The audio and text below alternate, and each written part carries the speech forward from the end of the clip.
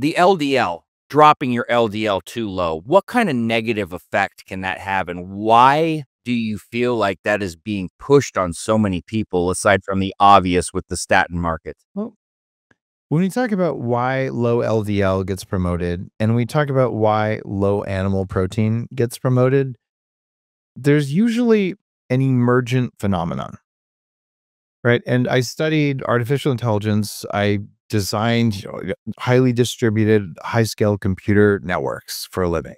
And what happens when you take a small rule and you repeat it an infinite number of times, you get what looks like complex behavior. So a lot of the structures of life, like flowers, plants, the way our bodies grow, it looks so complex. It's the same simple, simple rules repeated infinite number of times, like seashells and lizards, like they're all based on math done over and over and over. Stephen Wolfram proved this about 15 years ago. So weird. Complexity emerges from simple rules played infinite numbers of times. Well, with both the pharmaceutical side of things, the low LDL, and with the animal protein side of things, the rule is make money. So you're getting millions and millions of micro decisions made by well meaning, sometimes people, people who are willing to say, I know I saw some data that says this LDL thing is something we shouldn't lower, but I'm going to ignore that data because I don't like it. So I'm going to convince myself it doesn't matter and that low LDL is the end all be all. I'm going to convince myself. I, met the head of R&D at Pepsi and the former CEO of Pepsi. And she said, if Pepsi was a country, it would be the 17th largest economy in the world. And Pepsi at the time was entirely vegan, right? Because that was her belief system. And so they just threw out all the data that didn't support vegan. And then they fervently believed it was a good thing, right? And I, I mean, I spoke to her and her intent was, how do we lower toxins? Like we're doing our best. But believing something that doesn't work is highly toxic, right? It has to actually work, right? So what I think that that's one explanation is well-meaning people with profit as a motive instead of something else. The other one is, and uh, sometimes I, I find myself thinking about this, but I can't prove it. If you were to design a system to make humans less fertile and weak and sick, you would do what we did. We have the worst quality lighting. We have the lowest quality seed oils. They're putting fluoride in the water. That is, dude, the Nazis pioneered putting fluoride in water in order to make people more docile because it poisons our thyroids. So if it was just some things were good and some things were bad, but it's almost universally the recommendations are the worst ones you can do. And then there's always functional doctors and others who are saying this stuff doesn't work. And then they get shouted down and canceled. Yeah. Right. So, I mean, I would have been like, oh, maybe I'm just being, but then I saw the behavior of the world during the pandemic. And the truth has come out. Everyone who got the jab actually has higher risk, higher risk of dying from everything, all cause mortality. That is real. And that is backed by science. And there were thousands of physicians and other people like me who were talking about this during the pandemic. I lost 95% of my reach for two years because I had the audacity to say, as the author of a major book on fertility, my first book, it is a poor idea to inject anything into a pregnant woman whether it's tested or not, unless it's life threatening, because there's a lot of stuff we don't yet understand, especially in the first trimester. So let's not stick pregnant women with tested or untested things. Mm-hmm. Right. And man, they came after me. I got my warning letter uh, from the FTC for one of my things. I got on um, factcheck.org. Now, these are some of my largest career achievements. Right. And how, org sends you a whole post about why entrepreneur Dave Asprey, who says people make money off the pandemic and explains how that he's wrong. I'm like, you bring it, you bring it, guys. Thank you. But that's how, so. I think there are some people who hate humans and they want us to die. I really believe that, and huh? I don't think we should put sociopaths in charge. I really don't.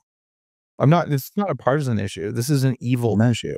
Yeah. Call me crazy, but I have to agree with everything that you just said there. It's just, it's craziness. And and I agree with you. And what I saw, it was some of the most troubling and bothersome things. Thankfully, you know, it, it appears now that there's at least more capability of being a little bit more open and talking about these things. And people are more receptive now to listening. And hey, to each their own, man. If you want to do what you do, do what you do. But I'm just thankful that there's people like you and communities like we have now where we can talk about this and put it out there and conventions like you put on and ways that we can learn from each other and grow. It's it, that's why I'm part of this, man, and why I shifted everything that I'm doing is to be a part of this. So, well, you you're doing something that's going to help you. It's going to help your family. It's going to help all the people who listen because you're willing to evolve. And so am I. Like I've been wrong about things, uh, and I evolve things. And one thing where I've been very very clear for the past 15 years, I've not eaten any seed oils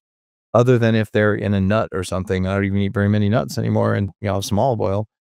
Um, but you think with the amount of butter and, and lard from healthy pigs, ones I've raised, and beef tallow and all that stuff, and, you know, dairy fat, you, I'd have to see an effect. So I just got to Cleerly scan. You know what that is? Yeah. Oh, yeah. Yeah. So this is the gold standard to look at soft plaque in your yes. Yes. right, mm-hmm. not calcified plaque. Calcified plaque isn't as dangerous as people think. Like that's right. stable at least.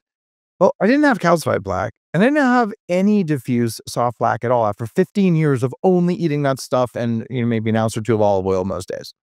Right. So I am the worst case on that.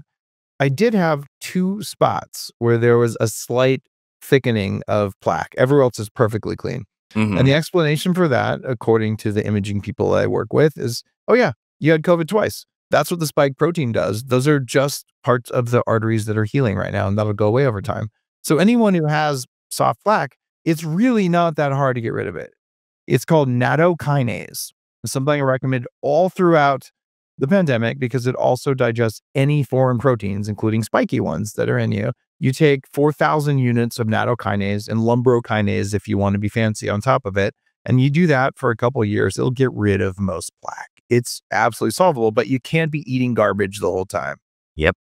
I've been taking 12,000 of nattokinase since I found out I had plaque. And I'm also getting the Cleerly test done as well. And I've taken courses on it to fully comprehend and understand it. So, like you said, gold standard, if you really want to know the true amount of plaque, because when people get a calcium score, it's only measuring hard plaque and it's still an estimate, right? It's not mm-hmm. it, real evasive or going to give those right numbers. So, I'm really glad you brought that up because a lot of people aren't aware of that test at all. And it's it's the it is the gold standard and it's AI driven. It's not some mm. guy or woman reading it that can really kind of read it however the hell they want, you know. So thanks for bringing that up. You're you're welcome. And it's part of the advanced longevity stuff that I do, and I run a a very very high end uh, longevity biohacking and and consciousness fulfillment uh, mastermind.